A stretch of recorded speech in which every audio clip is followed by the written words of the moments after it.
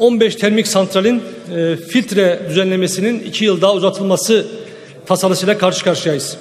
Oysa daha senenin başında e, bir e, ortaklaşmayla bu tasarı geri çekilmişti.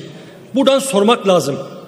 Ne oldu da ne oldu da bu şirketlerle nasıl bir pazarlık yaptınız da bu şirketlerle nasıl bir pazarlığınız vardı da nasıl bir anlaşmanız vardı da bunu tekrar bugün buraya getirdiniz.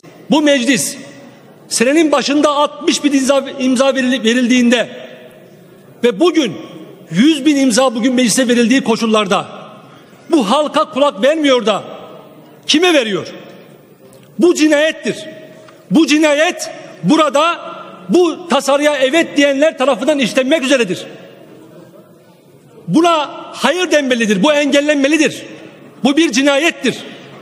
Ve bu cinayetin temel sebebi AKP'nin bizzat sarayın bizzat sarayın 3-5 tane şirketinin rantı uğrunadır. Bu meclis buna izin vermemelidir.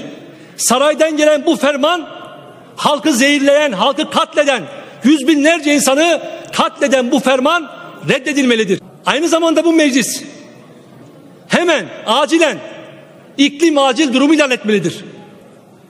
İlan etmelidir ki iklim krizi dediğimiz, kapitalizmin krizi dediğimiz küresel ısınma ancak ve ancak böyle engellenebilir.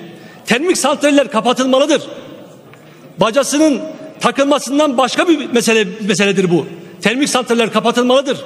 Yasaklanmalıdır. Ve enerji politikaları açısından da şu alandan vazgeçilmelidir. Elektrik ihtiyacı var. Kocaman bir yalandır. Türkiye'de ihtiyaçtan fazla üretim söz konusudur.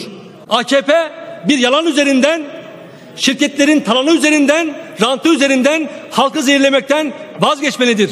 Bu tasarı geri çekilmelidir, reddedilmelidir.